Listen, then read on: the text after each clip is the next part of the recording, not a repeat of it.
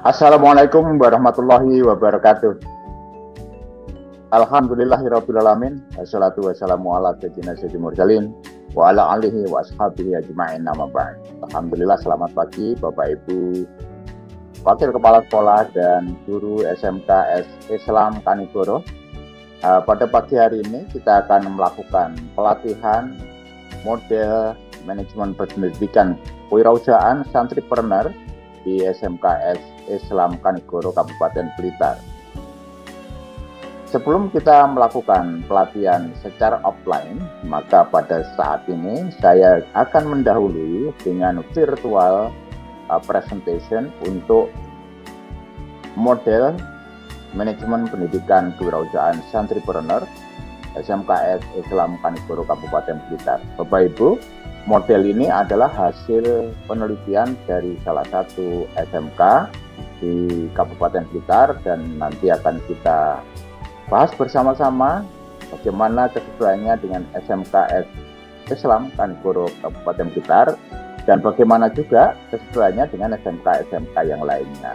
Ada satu hal yang memang agak sedikit berbeda di sini adalah nanti uh, pada saat kita mendiskusikan tentang kurikulum pada saat penelitian ini dijalankan kami belum uh, melihat adanya pelaksanaan kurikulum merdeka pada saat itu belum ya dan untuk itu nanti pada saat pembahasan kurikulum kita akan menyelesaikan. Terima kasih, mari kita ikuti bersama. Bismillahirrahmanirrahim. Baiklah Bapak Ibu sekalian, mari kita mulai bersama untuk pembahasan model manajemen pendidikan kewirausahaan santripreneur SMKS Islam Kanigoro Kabupaten Blitar. Agenda kita hari ini adalah kita akan membicarakan tentang model, definisi, perencanaan, pengorganisasian, pelaksanaan, evaluasi, dan hasil. Mari kita mulai dengan model. Inilah Bapak Ibu sekalian model dari manajemen pendidikan kewirausahaan santripreneur sekolah menengah kejuruan. Di dalam model ini tentu ada elemen-elemen manajemen yaitu uh, fungsi manajemen dan proses manajemen yang meliputi perencanaan, pengorganisasian, implementasi, evaluasi dan tentunya pada saat kami melakukan penelitian itu ada hasil.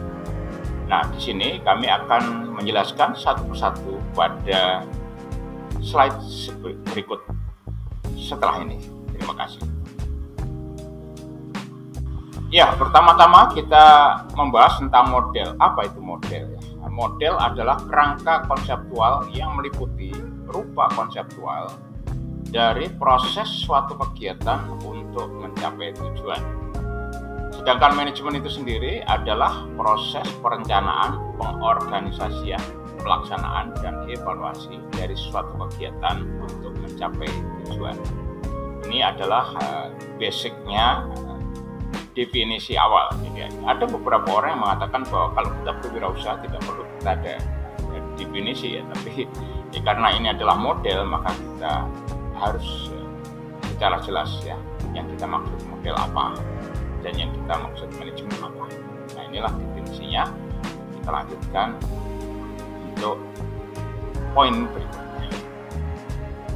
Yang dimaksud pendidikan kewirausahaan santripreneur adalah proses pengajaran dan pembelajaran wirausaha terhadap siswa yang juga menjadi santri pada pondok pesantren dan diarahkan untuk menjadi wirausaha atau menjalankan proses wirausaha. Atau walaupun bukan siswa di pondok pesantren itu adalah siswa di sekolah SMA atau SMK Islam yang terintegrasi dengan manhaj atau pondok pesantren.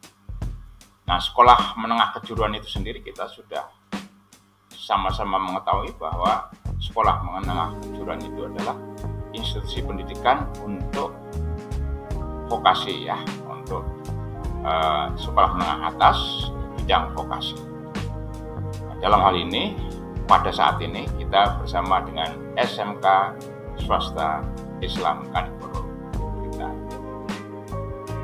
Model manajemen pendidikan kewirausahaan santripreneur sekolah menengah kejuruan dimaksudkan adalah kerangka konseptual proses perencanaan, pengorganisasian, pelaksanaan, dan evaluasi proses pengajaran dan pembelajaran kewirausahaan bagi para siswa yang merupakan santri pada institusi sekolah menengah kejuruan. Mari kita mulai dari proses perencanaan. Proses perencanaan meliputi kegiatan analisis kebutuhan, analisis kebijakan, keputusan bersama atau shared decision, dan perancangan program pendidikan kewirausahaan santripreneur itu sendiri. Perencanaan pendidikan kewirausahaan santripreneur itu melibatkan aktivitas yang pertama analisis kebutuhan pembelajaran, yang kedua analisis kebijakan kurikulum, yang ketiga adalah institusi, kita menganalisis situasi institusi, dan kita juga menganalisis situasi pembelajaran. Setelah itu, kita lakukanlah analisis kebijakan kurikulum yang tadi juga sudah katakan, saya katakan di nomor dua.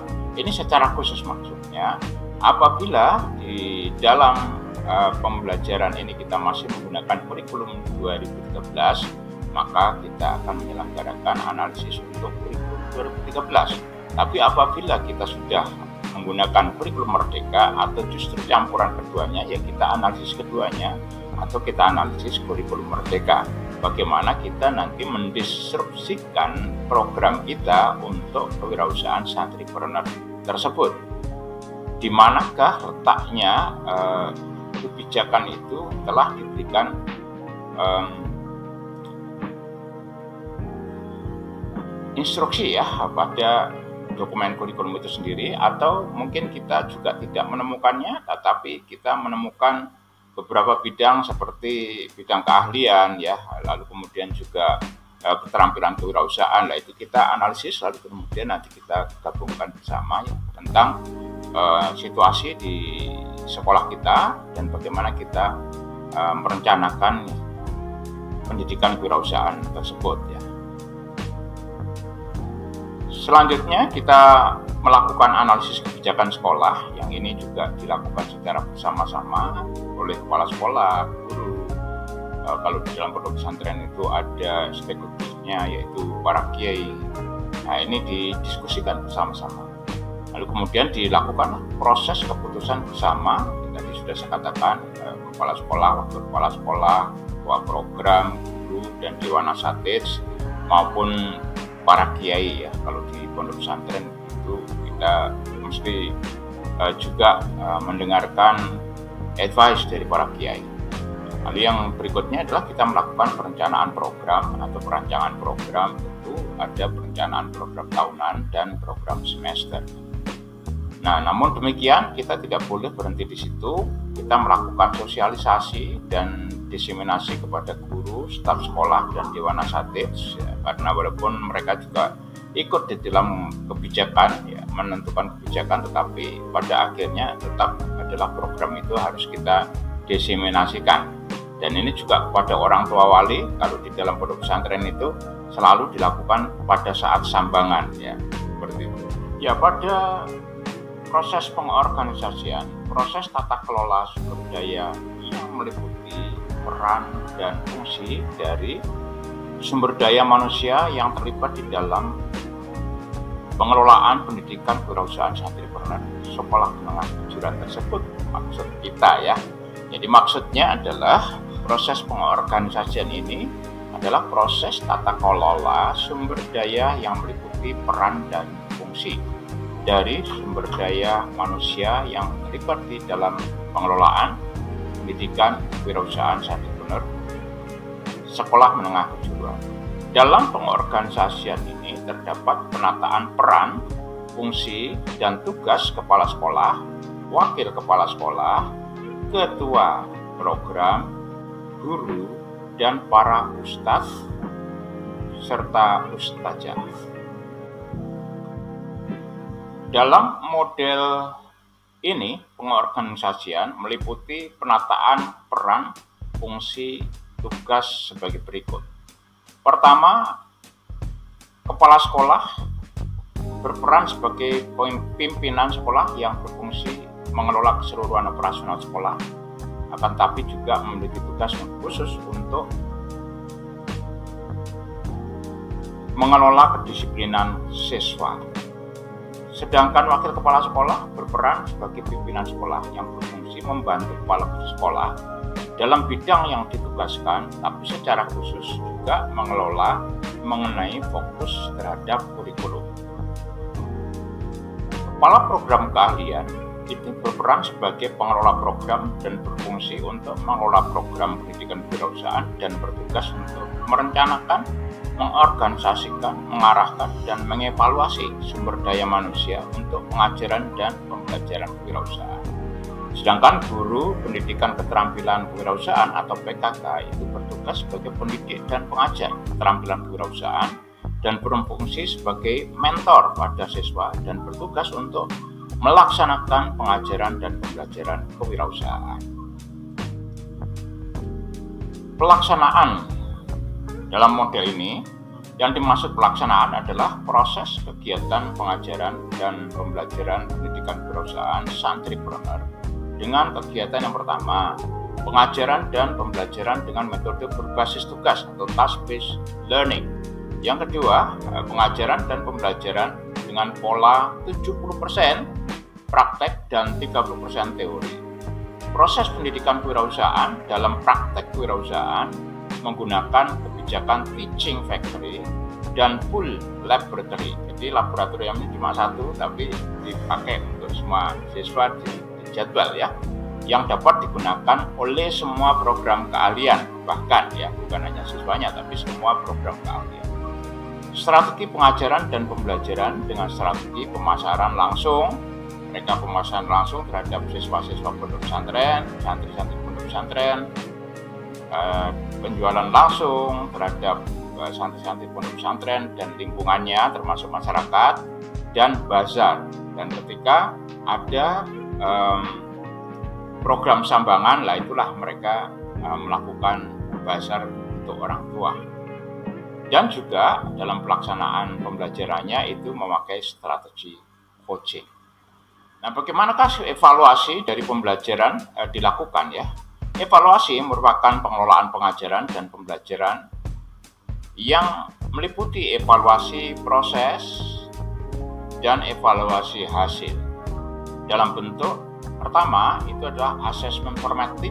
Jadi evaluasi di dalam model ini eh, para guru itu selalu melakukan evaluasi asesmen formatif, asesmen sumatif, dan asesmen terhadap kurikulum. Tapi juga ada dua asesmen yang mereka lakukan yaitu asesmen proses dalam konteks mereka memproduksi dan mempelajari dan memproduksi produk-produk uh, yang uh, mereka desain dan mereka kembangkan dan setelah itu juga ada evaluasi produk yang disebut dengan kurasi. Disesuaikan dengan standar daripada kurasi UMKM. Bagus juga ini ya. Instrumen evaluasi. Apa saja instrumen evaluasinya? Instrumen evaluasinya terdiri dari evaluasi supervisi akademik dan manajerial. Itu adalah untuk uh, para pengelolanya ya, untuk para pengelola dan para guru kemudian instrumen evaluasi sumatif instrumen evaluasi formatif instrumen evaluasi proses pembelajaran dan instrumen evaluasi produk bagaimanakah hasilnya pada saat kami melakukan penelitian secara desain studi kasus tunggal pada saat itu ya? Eh, kami melihat bahwa hasilnya pembelajaran itu lebih memadai dan uh, antara kombinasi antara pesantren dan pendidikan umum itu bisa terkombinasi dengan baik dan tentu di situ ada modifikasi kurikulum ya dan waktu utamanya ya. Itu menjadi memadai. Maksudnya memadai itu adalah sesuai dengan harapan daripada pendiri harapan daripada kiai harapan daripada orang tua dan tentu harapan dari kurikulum nasional itu sendiri ya. Lalu juga uh, kerusakan produk itu sangat minim sekali, rata-rata kurang dari dua persen. Itu bagus sekali ya. Uh, produk yang dihasilkan oleh siswa itu uh, kerusakannya sangat sedikit sekali sehingga itu lolos kurasi. Nah, penanganan keselamatan kerja juga dilakukan secara baik walaupun secara simple ya sederhana. Jadi safety um, manajemennya itu dilakukan dengan sederhana, tetapi mereka selalu mengerti ya tentang bagaimana mereka memberikan label-label, tanda-tanda, lalu kemudian juga uh, checklist untuk uh, housekeepingnya dan juga untuk uh, pengelolaan uh, ya apa penanganan kecelakaan-kecelakaan kecil seperti first aid seperti itu ya. Nah, produk targetnya itu juga sangat sesuai dengan harapan karena produk targetnya itu uh, disesuaikan dengan uh, pasarnya. Pasarnya adalah siswa itu sendiri dan juga orang tua maupun masyarakat sekitarnya. Dan itu diterima oleh uh, para konsumennya juga diperlihatkan bahwa pemborosan itu sangat minim, ya kurang dari 2%. Nah, di dalam hal ini e, memang di dalam prosesnya juga dilakukan pelatihan awal ya dengan bisnis model canvas dan selain itu juga dengan e, how a business work itu e, sebelumnya ada pengabdian masyarakat dari universitas tempat yang kami teliti itu ya. Di antaranya bagaimana mereka itu adalah mengelola efisiensi dan efektivitas daripada uh, proses uh, produksi wirausaha tersebut ya.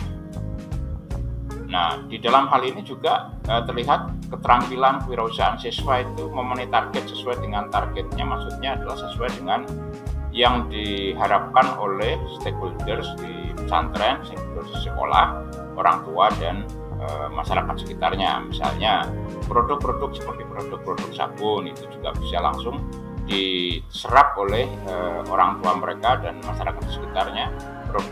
Produk-produk kue misalnya langsung diserap oleh para siswa itu sendiri dan masyarakat sekitarnya. Dan ketika ada sambangan itu orang tua juga uh, membeli daripada produk-produk mereka. Uh, di dalam model ini terdapat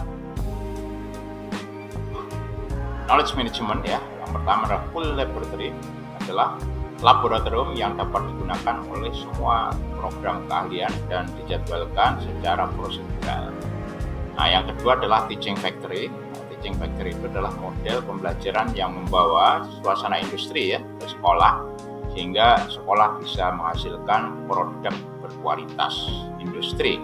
Yang ketiga, task-based learning. Task-based learning itulah pembelajaran di mana siswa ini diberikan tugas ya bersama-sama secara tim sehingga mereka itu membuat, memproduksi dan merancang sesuatu di dalam di kelasnya atau di praktek uh, kewirausahaannya dan juga mereka uh, melakukan interaksi berupa komunikasi, kolaborasi, kreativitas dan berpikir kritis. Di sini adalah merupakan pengembangan uh, keterampilan abad 21 porsi communication collaboration creativity dan critical thinking dan bisalah digambarkan bahwa ini adalah merupakan satu tugas interaktif dan mereka biasanya ramai tapi ramainya itu adalah ramai berdiskusi dan uh, apa dan ber, ya berbicara tentang bagaimana proses produksi itu dilakukan secara efektif dan efisien dan pemborosan itu bisa ditekan tapi produknya juga tetap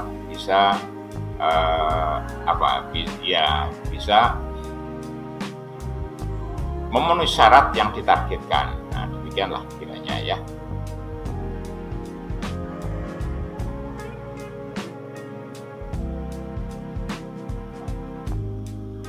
Ya, kemudian eh, berikutnya adalah istilahnya coaching. Coaching ini merupakan aktivitas tindakan oleh mentor Eh, para guru untuk membantu eh, para siswa untuk memiliki skill dan keterampilan yaitu keterampilan kewirausahaan yang sudah kita bicarakan tadi. Nah, di sisi lain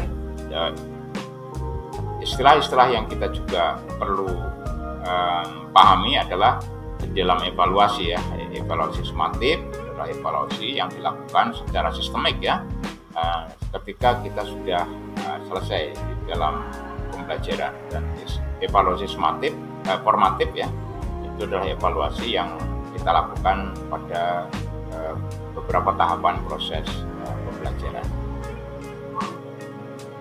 Nah, yang dimaksud dengan evaluasi proses itu adalah evaluasi uh, proses di dalam pembelajaran itu langsung ya dengan pengamatan langsung oleh guru dan evaluasi produk itu adalah kurasi produknya itu di produksinya itu dievaluasi di kurasi sekaligus ya, seperti kita mengkurasi produk-produk UMKM itu sedangkan guru-guru itu juga oleh wakil kepala sekolah kepala sekolah dilakukanlah supervisi akademik ya. Nah, dalam konteks ini supervisi akademik memang kurang dikenal di uh, rancangan kurikulum merdeka, tapi sesungguhnya ada prakteknya ya. Disebut dengan monitoring dan evaluasi praktek baik di kelas kan begitu. Tapi prosesnya ya mirip-mirip saja ya. Prosesnya kan pakai eh, clinical supervision sebenarnya itu ya dan ada apa ada pertemuan awal observasi lalu kemudian uh, apa umpan balik seperti itu.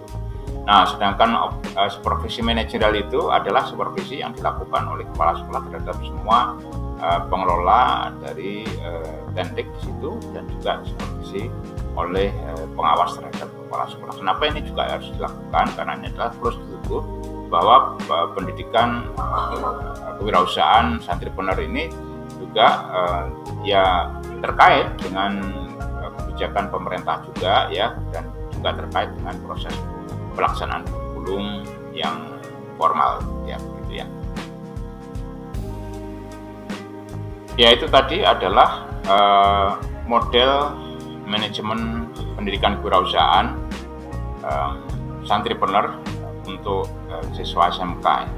Prinsipnya adalah dalam model ini ada satu analisis yang dilakukan sehingga uh, ada satu desain yang mengkombinasikan antara kebutuhan pesantren, kebutuhan e, masyarakat dalam hal ini adalah e, produk-produk yang dihasilkan oleh siswa-siswa SMK dalam konteks e, pesantren atau siswa-siswa SMK Islam yang kemudian nanti juga konteksnya bisa dihubungkan dengan pembelajaran mahaj atau pembelajaran e, pendidikan keislaman gitu ya dan tentu kalau ini adalah bukan uh, pada lingkungan pesantren itu uh, tidak ada sambangan, tidak ada apa istilahnya ya uh, perpulangan begitu.